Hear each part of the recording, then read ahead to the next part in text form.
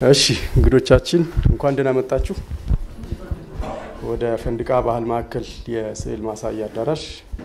በድጋሚ እንኳን በደህና መጣችሁ። እንደተለመደው አሁን በዚህ ዓመት አስራ ሶስተኛውን የፈንድቃ ባህል ማዕከል የስዕል አውደ ርዕይ በሰዓሊ ዮናስ እና በሰዓሊ ኤፍሬም እንከፍታለን። የአውደ ርዕዩም ርዕስ ሌላኛው ገጽ ብለውታል። ስለዚህ ሌላኛው ልኬት። በጣም ጥሩ። ስለ ስራቸው የተወሰነ ደቂቃ ሰጥና ሀሳብ ያካፍሉናል።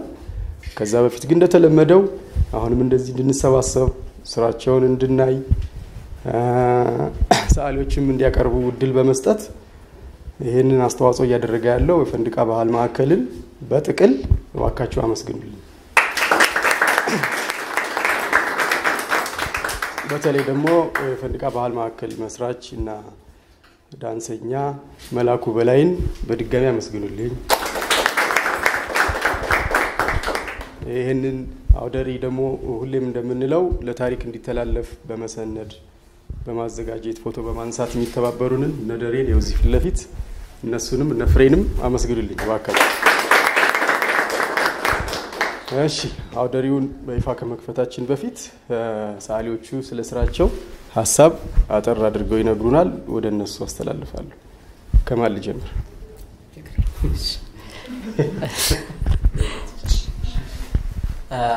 ስለመጣችሁ በጣም አመሰግናለሁኝ። ኃይሉ እንዳለው እኔም ፈንድቃንና ወንድማችን መላኩን በጣም ማመስገን እፈልጋለሁ። ጋለሪ ከመፍቀድ በላይ በነፃ መሆኑ እጅግ በጣም supportive ነው ብዬ አስባለሁ። በግሌ አርቲስትም ስለሆነ በ art ውስጥ ያለውን fanatic የሆነውን ነገር ብቻ ሳይሆን ሕመሙንም ጭምር የሚረዳ ሰው ስለሆነ ነው ይሄንን ያደረገው።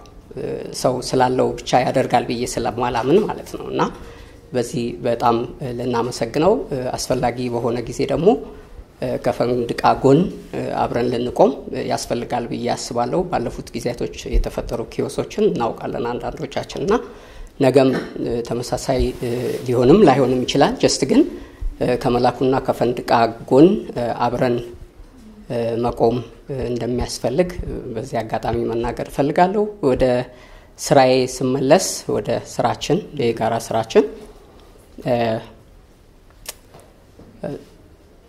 ፕሮጀክት ነው ለእኔ በጣም ትልቅ ብዙ ነገር የተማርኩበት display አድርጎ ህዝብ ፊት ከመቅረብ በላይ በጣም ብዙ ነገር የተማርኩበት ፕሮጀክቴ ነው። ብዙ የ group exhibition ኖች ላይ ተሳትፌ ያለሁኝ፣ solo ላይ ተሳትፌ ያላቅም of course፣ ግን ይሄኛው በጣም unique ነው እና ለራሴ ከአንዳንዶቹም ጋር አውርቻለሁ። ለእኔ እንደ solo ነው የምቆጥረው ብዬ ነው የማስበው እና ብዙ የለፋውበት ስለሆነ ማለት ነው።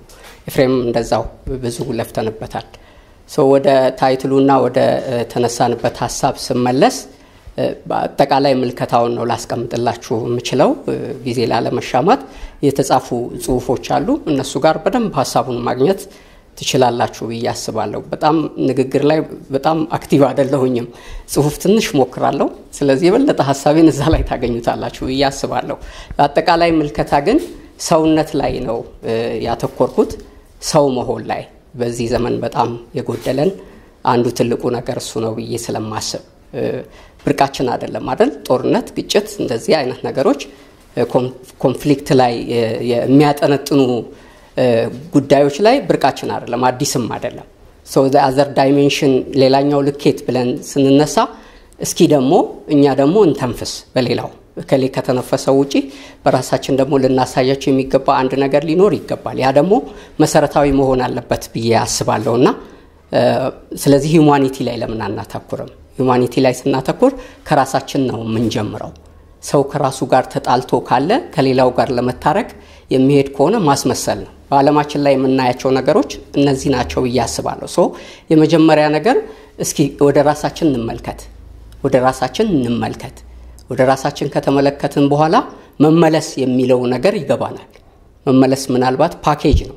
መመለስ ወደ ራስ ይጀምርና መመለስ ወደ አገር፣ መመለስ ወደ ሕዝባችን፣ ወደ ባህላችን፣ ወደ ነገራችን ይሆንና በአጠቃላይ ግን መመለስ እኔ መንፈሳዊ ጥቂት ጥቂት መንፈሳዊ ነገር ላይ አለሁና ወደ እግዚአብሔርም መመለስ አስፈላጊ ነው ብዬ አስባለሁ።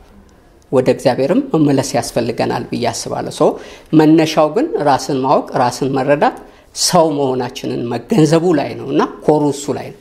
ያንን መገንዘብ ስንችል መመለስ የሚለው ሀሳብ ይገባናል ብዬ አስባለሁ። በጣም ነው የማመሰግነው አሁንም በድጋሚ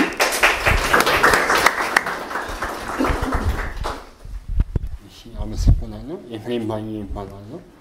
የእኔ ስራ የሚያተኩረው የነፍስና የስጋ አለመግባባት ለስጋችን ብዙ ጊዜ እየሰጠን ዋናው ክፍል የሆነውን የነፍሳችን ዘላለማዊ የሚሆን መቀጠል የሚችለውን ነገር እየሸፈን ነው ለቁሳዊና ለማቴሪያል የሆነ ነገር ዋጋ እየከፈልን ነው እና ደስተኞችም እየሆንን አይደለም በዛ ውስጥ እና ገንዘቡ ቢኖር ምኑ ቢኖር ሲቪላይዜሽኑ እና የተሸፈነውን የማይታየውን ነገር ለማሳየት ነው በተለያየ መንገድ የሞከርኩት። የሆኑ ነገር የምታገኙ ይመስለኛል። ዋናው ነገር የመጣነውም ከሌላ ቦታ የምንሄደውም ወደዛ ነው እና ተሸፍኗል ብዬ ነው ማስበው እና እየሸፈንኩ ምናምን የሰራውን የማይታየውን እንድናይ እንድናስብ ነው ዋናው ስራ። ስለመጣቸው አመሰግናለሁ።